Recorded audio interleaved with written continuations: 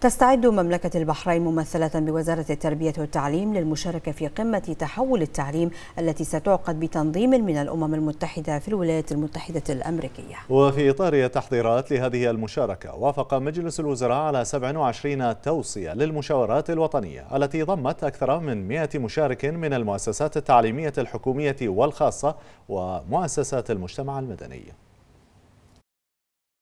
ضمن استعدادات وزارة التربية والتعليم للمشاركة في قمة تحول التعليم 2022 تواصل الوزارة بذل جهودها عبر التعاون والتنسيق مع المؤسسات التعليمية الحكومية والخاصة ومؤسسات المجتمع المدني بالإضافة إلى مناقشة أوجه التعاون والتنسيق مع منظمة الأمم المتحدة والوكالات التابعة لها.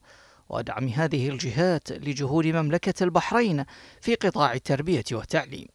المشاورات الوطنية مع المنظمات الدولية تأتي تمهيدا لعقد القمة الدولية الرئيسية في نيويورك في سبتمبر المقبل بتوجيه من الأمين العام للأمم المتحدة أنطونيو غوتريش من أجل حشد العمل والطموح والتضامن لإيجاد حلول تعوض الخسائر التي شهدها مجال التعليم بسبب تداعيات جائحة كوفيد-19 وإعادة تصور مستقبل التعليم لتحقيق أهداف التنمية المستدامة المتعلقة بالتعليم بحلول عام 2030 مملكة البحرين بذلت جهودا جبارة لضمان عملية التعليم والتعلم خلال وبعد فترة الجائحة العالمية.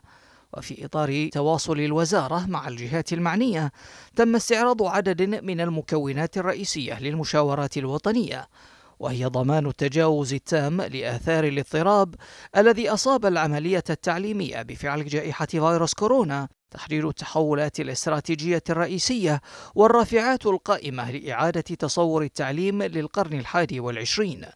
تسريع وتيرة التقدم نحو أهداف التعليم المشتركة ومراجعة الأهداف والمعايير الوطنية للتربية والتعليم وضمان التمويل العام المعزز والمستدام للتعليم.